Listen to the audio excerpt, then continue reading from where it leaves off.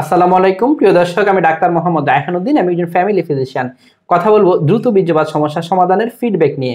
আজকে আমার সাথে যিনি রয়েছেন, তিনি এই ধরনের সমস্যা নিয়ে এসেছিলেন এবং এই সমস্যা নিয়ে তিনি অনেকদিন ধরেই ভুগছিলেন এবং তিনি একজন চুয়াল্লিশ বছর বয়সী রোগী এবং উনি একজন ডায়াবেটিক পেশেন্ট আলহামদুলিল্লাহ, তিনি চিকিৎসার নেয়ার পর এখন কেমন আছেন? আজকে সে ফিডব্যাকটা ওনার মুখ থেকে শুনব।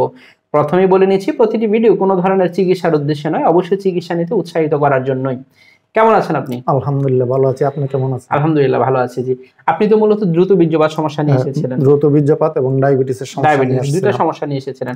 এবং আপনি যখন এখানে এসেছিলেন আপনার তো ডায়াবেটিসটা সম্পূর্ণ অনিয়ন্ত্রিত অবস্থায় ছিল। অনিয়ন্ত্রিত ছিল। এবং এখন কেমন নিয়ন্ত্রণ রয়েছে? এখন আলহামদুলিল্লাহ আমি ভালো আছি। ডায়াবেটিস নিয়ন্ত্রণে আছি। খুবই ভালো নিয়ন্ত্রণ রয়েছে আলহামদুলিল্লাহ। এবং আপনি যখন এখানে এসেছিলেন আপনার দ্রুত বীর্যপাতের সমস্যাটা ছিল হ্যাঁ। তখন আপনি কেমন সময় পেতেন?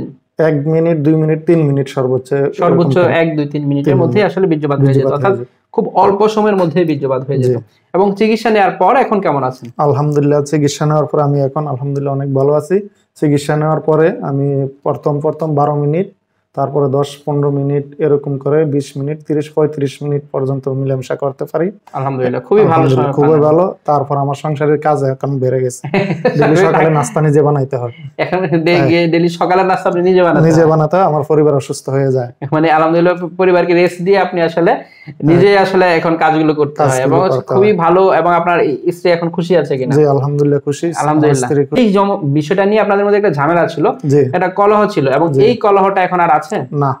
এই কলহটা আলহামদুলিল্লাহ নেই। এবং আপনি এখানে কীভাবে এসেছেন? আমি দেশের বাইরে থাকতাম বাহারান প্রবাসী আমি ইউটিউবে ভিডিও দেখে দেখে তারপরে এখানে আসছে। আমার বন্ধুরা বলছে যে ডাক্তার রায়হানুদ্দিন কুমিল্লা আছে ওইখানে যাও তারপরে এখানে আসছে আলহামদুলিল্লাহ। হচ্ছে অর্থাৎ হচ্ছে অনেকদিন ধরে ভিডিওগুলো ফলো করেন এবং আজকে যে ভিডিওটি করছেন আপনি আসলে সবসময় নিজে ভিডিও দেখতেন এবং আজকে ভিডিও করছেন এবং সফলতা পেয়ে সেটা কেমন লাগছে? আলহামদুলিল্লাহ অনেক ভালো লাগছে। আমি সবাইকে আহ্বান করব যারা এরকম সমস্যা আছে ডাক্তারের শরণাপন্ন ডাক্তারের সরাপন্ন হবেন এবং ডাক্তার রায়হানুদ্দিন শুধু একজন ভালো ডাক্তার না একজন ভালো মনের মানুষ।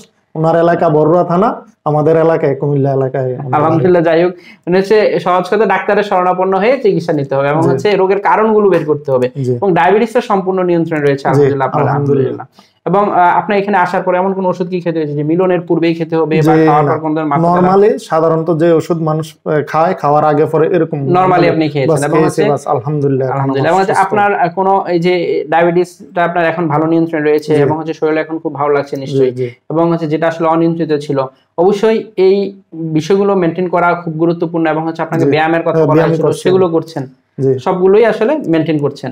এবং প্রিয় দর্শক আসলে শুনছিলেন ওনার ফিডব্যাকের কথা তিনি যা বলছিলেন যে আসলে তিনি এখন ভালো আছেন আলহামদুলিল্লাহ খুবই ভালো আছেন যেটা বলছেন এবং তিনি প্রথম যখন এসেছিলেন অনেক হতাশায় ছিলেন এবং হচ্ছে অনেক মন খারাপ ছিল না আজকে কিন্তু তিনি খুবই হাসি খুশি এবং হচ্ছে আজকে ওনার ফিডব্যাক দেখে আমারও খুব ভালো লাগছে এবং আলহামদুলিল্লাহ তিনি নিজেই বলছিলেন যে একটা ভিডিও করার জন্য যে যাতে অন্যরা উৎসাহিত হয় এবং হচ্ছে তিনি যেহেতু অনেকদিন ধরেই ভিডিও দেখছেন এবং তিনি নিজেও আজকে সফলতার গল্পের অংশীদার হতে চেয়েছেন।